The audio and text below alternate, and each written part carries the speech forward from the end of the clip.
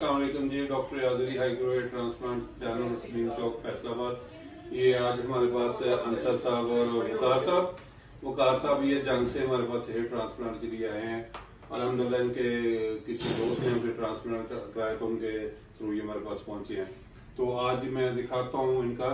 हमने mega sessions किए हैं। ये अंसर साहब हैं। तो वकार साहब हैं सॉरी तो इनका हमने ये फ्रंट दोनों साइडें खाली थी और ये बैकग्राउंड तक हमने मेगा सेशन करके इनको एरिया फिल किया है। तो ये इसी तरह ये अंसर साहब हैं। इनका भी हमने मेगा सेशन किया है। कि फ्रंट से लेकर एंड और इंक्लूडेड ये क्राउन भी हमने ना साथ टच दिया है। तो आज इनसे पूछते हैं इनका सारा दिन कैसा गुजरा है? पेनफुल रहा कि ये इजी फील कर रहे हैं? जी अंसर साहब बताइए। डॉक्टर साहब। इजी फील कर रहे हैं इजी फील कर रहे हैं भी किसी के रेफरेंस से आए हैं और रेफरेंस यही था कि आपका रिज़ल्ट अच्छा था।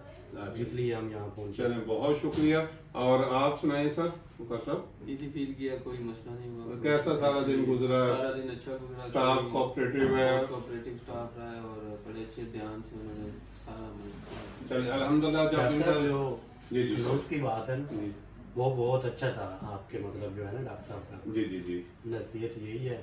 आगे इंशाल्लाह बहुत ज़्यादा इम्प्रूव करेंगे। बहुत शुक्रिया। वर्किंग है ना इनकी। जी जी जी जी। इंशाल्लाह ऊपर अल्हम्दुलिल्लाह हर किसी का काम इसी तरह मेहनत से करते हैं। क्योंकि डॉलर तो आपका ही वेल करना हमारी तो कोशिश मैक्सिमम रूट से लेके वो प्लांट कर दें। तो इंशाल्लाह जब इनका रिज़ल्ट आएगा तो फिर आपको दिखाएँगे इनका कैसा रिज़ल्ट है थैंक यू वेरी मच अल्लाह हाफिज़।